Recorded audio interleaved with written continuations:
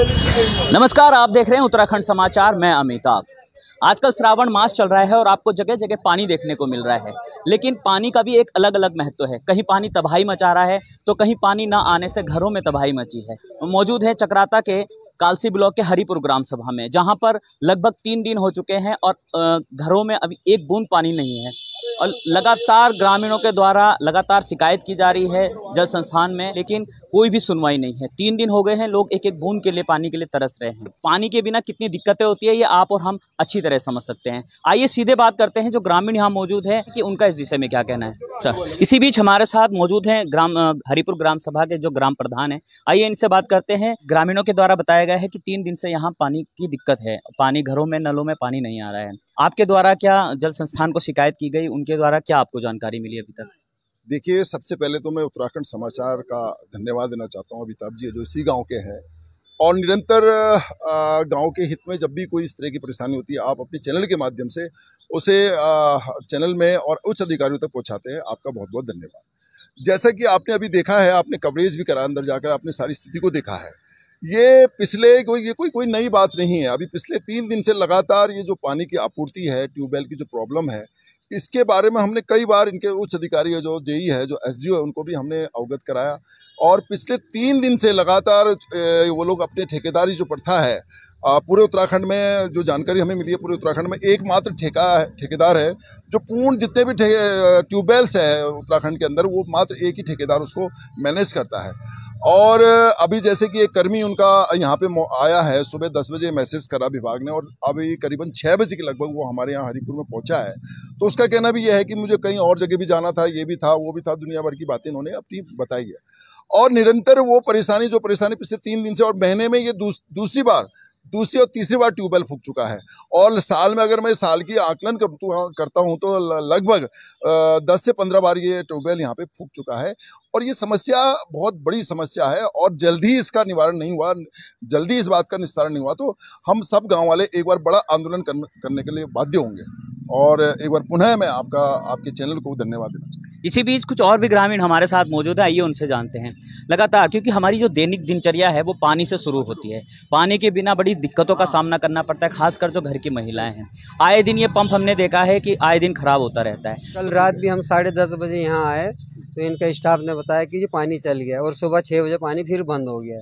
अभी इनका स्टाफ आके कहता है कि जी मैं अकेला आदमी हूँ। हमने कहा, भाई आप आदमी बढ़ाओ अपने ठेकेदार को कह के। लेकिन कोई नहीं, ये हर महीने में दो तीन बार के ड्रामा इनका चलता रहता है। पानी की समस्या, घर में पशु हैं, पीने का है, बच्चों के स्कूल कपड़े, सारे काम वैसे ही छुटे हुए ना इन्होंने कोई टैंकर की व्यवस्था करी तीन दिन में, और बस जनता को इसी हाल पे छोड़े कि अपना आप जियो जैसे जीना जितने बार हम इनके पास खड़े होते हैं, उतने बार हमें यही बोलते हैं कि अभी पानी आएगा, अभी पानी आ रहा है। अरे इनका ये यहाँ पर सुबह इनको फ़ोन करा कि भैया, ये तुम्हारा जल गया है, और देख के आगे देख लो। तभी उसके बाद में हमारे कोई सुनने को राज़ी नहीं है। फिर उन्होंने कहा, हमारा देहरादून से आदमी आ रहा है, वो आदमी आने के बाद चार, नौ बजे के बोलने के बाद वो छः बजे पहुँच रहा है। तो इसका मतलब ये है कि हम, वो जनता को कोई वही नहीं, ध्यान नहीं देते। यही कहना है हमारा तो। और भाई, हमारा को पानी चाहिए। पानी नहीं हुआ तो फिर इनके साथ आंदोलन करा जाएगा, ढंग से करा जाएगा। तो देखा आपने, ग्रामीणों में बड़ा आक्रोश है। इसी बीच हमारी महिलाएँ भी शामिल हैं, क्योंकि देखिए, सबसे ज़्यादा अगर घर में पानी के बिना दिक्कत, जो परेशानियों का झेलनी पड़ती है, वो महिलाओं को झेलनी पड़ती है। देखिए लगभग तीन दिन से पानी नहीं है और आए दिन ये पंप खराब होता रहता है। आपको किस तरह की परेशानियों का सामना करना पड़ रहा है?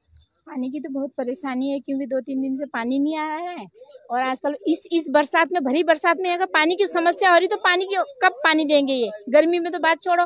और हर महीने ये, यही समस्या है। इनका ट्यूबवेल फूका, फूक जाता है और हमारा तो पानी नहीं होता, फिर बाल्टी लेके जमुना से लाते अब जमुना भी गंदा आ रहा है तो पानी कैसे पिए?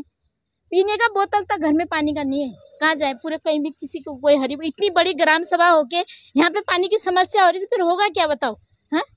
इतनी पब्लिक है, हरिपुर छोटा गाँव तो नहीं है ना, इतनी बड़ी ग्राम सभा है, यहाँ पे पानी ना टैंकर है, बताओ। टैंकर, एक टैंकर नहीं आता कि तीन दिन से टैंकर नहीं आ रहा, घर में एक बूंद, आप जाके चेक करो, एक बूंद अगर एक किसी के घर में बोतल भी होगा रात को एक दूसरे से मांग मांग के पानी का गुजारा करें। पानी है तो ये इतना, ये तो बहुत परेशानी वाली बात है ना। और हम तो यही बोलते पानी की वो करो भाई, नहीं तो ये बिल किस बात का दे रहे हम लोग? ये पानी फ्री तो सरकार हमें दे नहीं रही है। बिल तो दे रहे हैं ना हम, हा? उसके बाद भी हम पानी की इतनी समस्या होती है तो फिर तो हरिपुर को तो मानना पड़ेगा फिर तो हा? बिल, वो तो बिल तो दे रहे हैं ना, बिल तो नहीं दे रहे, ऐसी बात नहीं।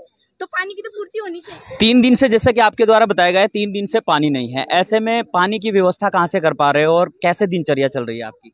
देखो भैया हम तो क्या बोलते हैं कभी इधर से ला रहे हेडपम्प से पानी कभी न, नदी से ला रहे तीन दिन से इतना मुश्किल हो रहा है पता है बरसात में क्या नहाना होता है कपड़ा धोना पड़ता है सब कुछ करना पड़ता है भैया। और गर्मी में तो बहुत ज़रूरी है पानी सबके लिए बताओ। पानी के बगैर तो जीवन भी अधूरा ही है। जो मैं ये बोल रही हूँ जो कर्मचारी ढंग से यहाँ काम नहीं कर रहे तो उनका तो पोस्टिंग कर दो। कोई अच्छे कर्मचारी को बुलाओ ताकि जो अपना ज़िम्मेदारी पूरा निभाए। तनख्वाह किस लिए ले रहे? और बिजली, पानी का बिल इतना आ रहा है, एक हज़ार से ऊपर जा रहा है। बट हम तो टाइम टाइम से भर रहे हैं ना बिल। उस हिसाब से बेनिफिट भी तो मिलने चाहिए ना हमें। और देखो यहाँ जगह जगह नाला खोद रखा, इन्होंने पानी वाले ना भर रखा, ना चैम्बर भी खुल रहा है, कई बच्चे गिर गए, जानवर गिर गए, फिर डेंगू हो रहा है, बीमारी, बताओ। कौन देखेगा इस चीज़ को? ये लगातार ग्रामीणों में आक्रोश व्याप्त है क्योंकि पानी के बिना जीवन बड़ा जीना मुश्किल है और इनका कहना है कि बार बार शिकायत की जाती है, आए दिन ये खराब होता है। अब सीधे इसमें आगे विभाग वालों से भी बात करेंगे, जल संस्थान वालों से कि उनका इस विषय में क्या कहना है। वहीं जब हमने जल संस्थान के अवर अभियंता से बात की तो उनका साफ़ तौर पर कहना है कि जो बिजली की सप्लाई है, उसकी कमी की वजह से आए दिन यह फॉल्ट होता है। उनका कहना है कि जल्द ही विद्युत विभाग से संपर्क करके इस कमी को पूरा कर लिया जाएगा और एक एक दो दिन में सुचारू रूप से पानी मिलने लगेगा। आप जुड़े रहिए उत्तराखंड समाचार से। नमस्कार।